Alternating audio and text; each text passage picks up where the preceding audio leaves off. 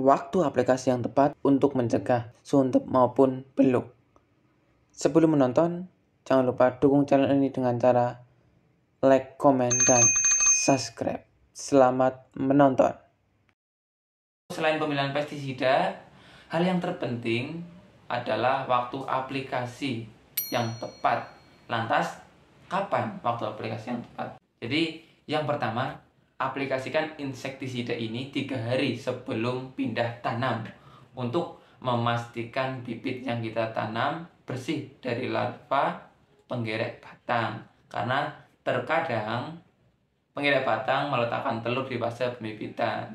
Pastinya eh, kita bisa yakin dong kalau kita sebelum melakukan pindah tanam kita sudah semprotkan.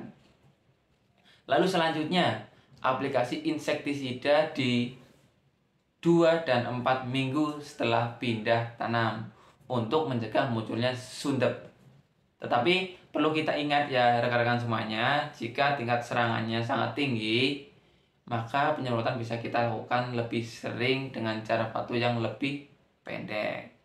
Kemudian untuk pencegahan beluk, aplikasikan di sekitar usia 45 dan 60 hari setelah tanam. Kenapa kok 45 dan 60 hari setelah tanam? Jadi jawabannya adalah karena di usia 45 hari rata-rata tanaman sudah mengalami fase bunting sehingga malai yang akan keluar itu perlu kita lindungi, kita jaga agar tidak muncul beluk ketika berbunga.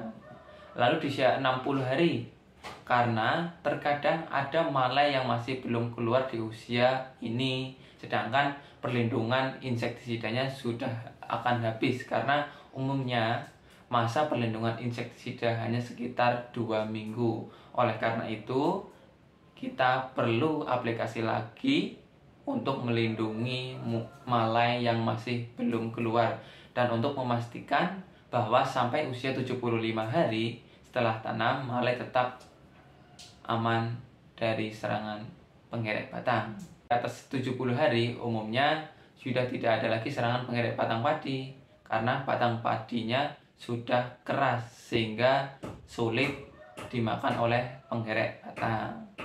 Jadi itu penjelasan dari saya mengenai hama pengerek batang. Yang terpenting jangan lupa untuk selalu melakukan pengawasan dan pengecekan selama proses budidaya supaya tidak menyebabkan serangan yang parah.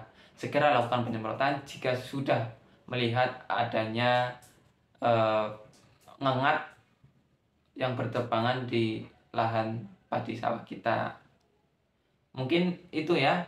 Uh, apabila ada pertanyaan atau kritik, silakan bisa komentar di kolom komentar yang sudah disediakan.